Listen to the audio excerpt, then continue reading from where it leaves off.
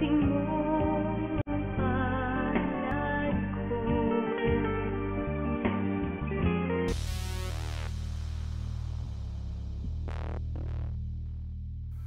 ileocolitis ay pamamaga ng dulo ng maliit na bituka o ang tinatawag na ileum at sa unang parte ito ng malaking bituka o colon.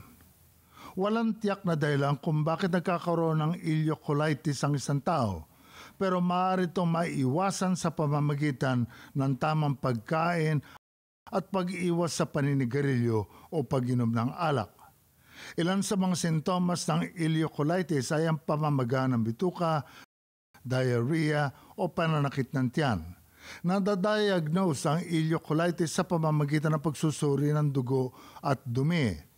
Ito ay nagagawa rin sa pamamagitan ng colonoscopy ng barium enema. Iniinuman ng gamot ang ileocolitis at inaalalayan ito sa pamamagitan ng pagkain ng mas konti at mas madalas. Miiwas din dapat sa matataba at mga pritong pagkain. Kung malala na ang ileocolitis, maaaring din operahan ito para tanggalin ang ilang parte ng bituka.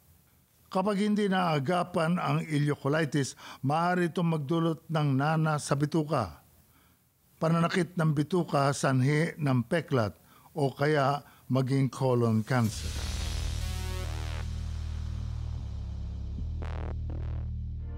Tanggapin mo